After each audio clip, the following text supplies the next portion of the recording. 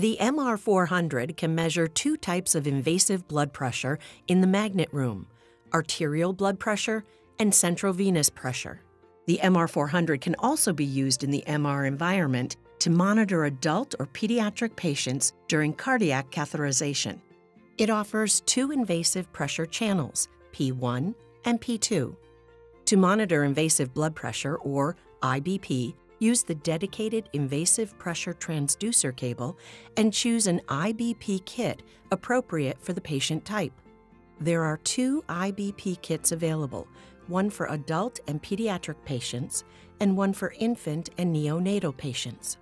Confirm that your catheters are MR safe or MR conditional before using them in an MR environment.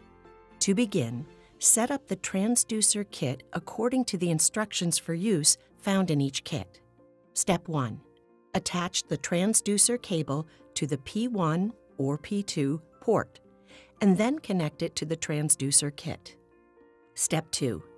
Mount the transducer to an MR IV pole, then prime the transducer. Tips Invasive pressure transducers are sensitive to vibration that can occur during MRI scanning, which can lead to pressure reading inaccuracies. Always mount the transducer away from areas where vibration is likely to occur. Step 3. Zero the transducer. You can zero the transducer from the invasive pressure menu or from the soft keypad.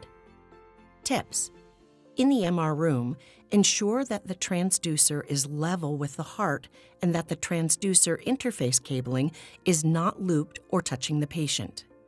Also, the invasive pressure cable and transducer must be kept away from the bore. If not, transducer failure, inaccurate readings, noisy MRI images, or patient burns may result.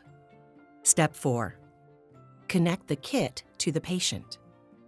Tips Never attach the transducer directly to the patient, as excessive heating can occur, resulting in burn injuries to the patient. Step 5. Fast flush the transducer and observe the drip chamber drop rate to verify complete closure. Tips The transducer must be re zeroed prior to the MRI examination after the transducer is in its final setup position. Moving the transducer after zeroing may cause a measuring offset to occur, and inaccurate pressure readings may result. Invasive pressure measurements are displayed as waveforms in the vital sign trace area of the screen and as numeric information in the P1 and P2 vital sign boxes. You can assign a label to the pressure channel by pressing the P1 or P2 vital sign box and selecting Set Label. The label will appear in the vital sign box, and it will also determine the color used for the vital sign box.